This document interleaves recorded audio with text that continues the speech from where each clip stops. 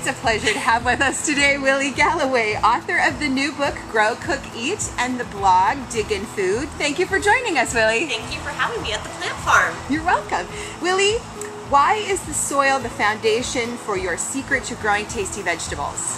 Well, you know, the soil is the home of your plants. Um, so it's the roots is kind of where it's at. And okay. in the soil they get all the oxygen they need, all the water, and uh, all the nutrients. So okay. it's really important to build good soil because it's the home of your plants and, and it's um, it's just crucial to their health and development.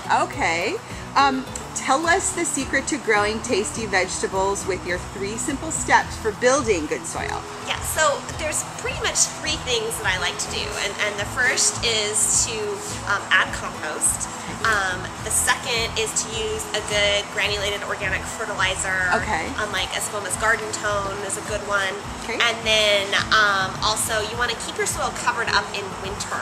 Oh, Um, okay. Because we have such rainy winters that if the soil's bare, um, the rain just beats it down. It actually can compact it Oh, okay. and it leaches out a lot of nutrients. So Yeah. the nutrients in the soil, the rain just washes them down below the root zone, and so it's really important to cover up your soil. So I have kind of a an easy way to do that. What I do is in fall, I take garden material, so grass clippings and vegetables that are done that didn't have any pest or disease problems, and Okay. I I chop those up. I run my mower over them. Okay. So it's in little pieces, and then I take uh, leaves and I chop those up too with with the mower, and then um, I layer that over my bed about this deep, Okay. and then I put burlap on top of that. Oh, And so over the winter, it decomposes and tons of worms get under there. Gotcha. And in spring, you just pull off the burlap, you've got compost right where you need it, Oh. and you can plant. So that's really helpful. And then I usually also, um, before I put in seedlings or seeds, I scratch in some of the granulated organic fertilizer. okay. Awesome. Yes, Great. That's a pretty easy way to do it. Good. Um, and uh, what are the five favorite multi-purpose edibles uh, for spring and summer? Well, first I just want to say what a multi-purpose edible is. Sure, and yes. So that's that's a crop where you you know, sort of the main crop that you're used to harvesting, and then there's extra delicious things that the plant makes that you can eat. Okay. So my first favorite is peas. Okay. So clearly you can eat pea pods, you know, Yeah. with snap peas and sugar snap peas, and then the seeds with Mm-hmm. English peas.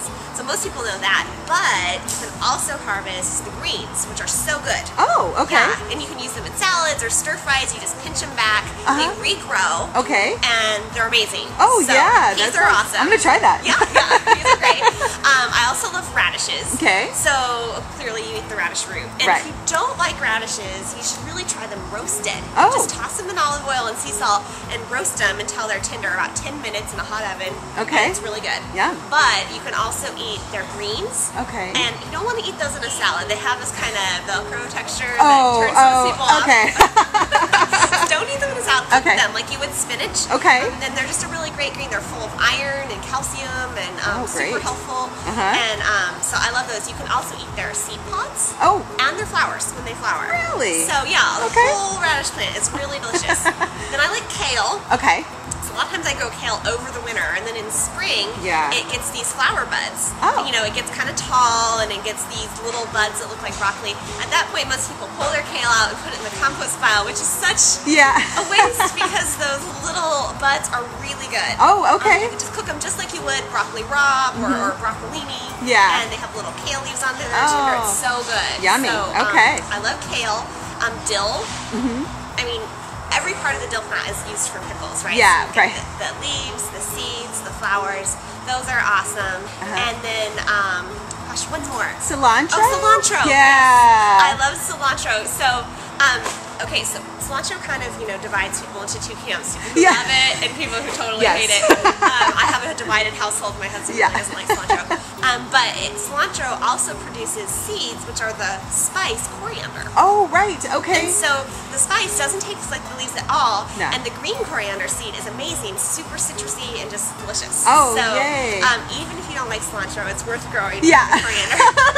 awesome. Much for stopping by and sharing with us with us today, Willi. yeah, sure. Thank you. Thank you.